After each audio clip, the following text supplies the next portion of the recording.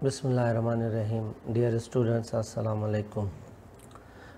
Our today's topic is what are run-ons? What are run-on sentences? Actually, a run-on occurs when two sentences are run together with no adequate sign given to mark the break between them.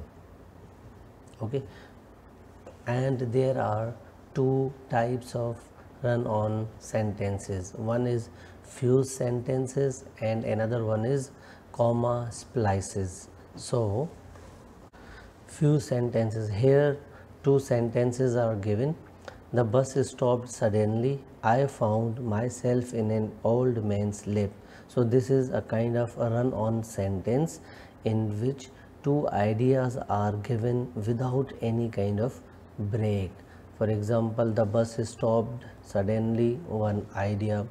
I found myself in an old man's lap. So there is no any uh, proper division of these two ideas. They both are merged. They are fused in one sentence. Another one is we heard a noise in the garage. Two birds had flown in through the open window. Also two ideas are given here without any kind of uh, adequate sign given to mark break between them. Another type of run on sentence is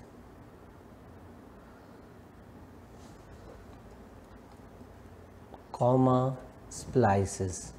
A comma is used to connect or splice together the two complete thoughts. However a comma alone is not enough to connect two complete thoughts. Some connection stronger than a comma alone is needed. So sometimes we uh, even if we uh, use comma but it is not enough. So we need to use properly. So we call that one as comma splices like the bus stopped suddenly comma I found myself in an old man's lap. Then we heard a noise in the garage, comma, two birds had flown in through the open window. Comma splices are the most common kind of run-on. Students sense that some kind of connection is needed between two thoughts and so put a comma at the dividing point. But the comma alone is not sufficient. A stronger clearer mark is needed between the two thoughts. Now come to the solution. There are four ways to correct run-ons. Method 1 period and a capital letter. If you have two run-ons it's very simple and easy to divide them. Like the bus stopped suddenly full stop. I found myself in an old man's lap. Two different sentences two different ideas. We heard a noise in the garage. Two birds had flown in through the open window. Method 2 is comma and a joining word. Like joining words are and but for or nor so yet and so on so the bus stopped suddenly, comma, and I found myself in an old man's lap. If you do not use joining word here, it will be considered as a run-on sentence, means uh, considered as a wrong sentence. And we heard a noise in the garage, for two birds had flown in through the open window semicolon. Very simple just put semicolon to separate two ideas. The bus stopped suddenly semicolon.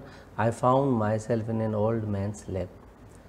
When we heard and the second one is we heard a noise in the garage semicolon. Two birds had flown in through the open window. So this is also a way to correct your sentence Fourth method of joining related thoughts is to use subordination. Subordination is a way of showing that one thought in a sentence is not as important as another thought. Here are uh, two examples. Okay.